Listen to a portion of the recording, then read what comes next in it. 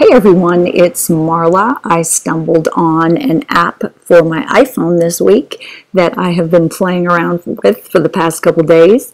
It is for the Urban Decay Vice lipsticks. So if you were thinking about picking one up and you didn't know what the color would look like on you, I suggest you just take a look at this app.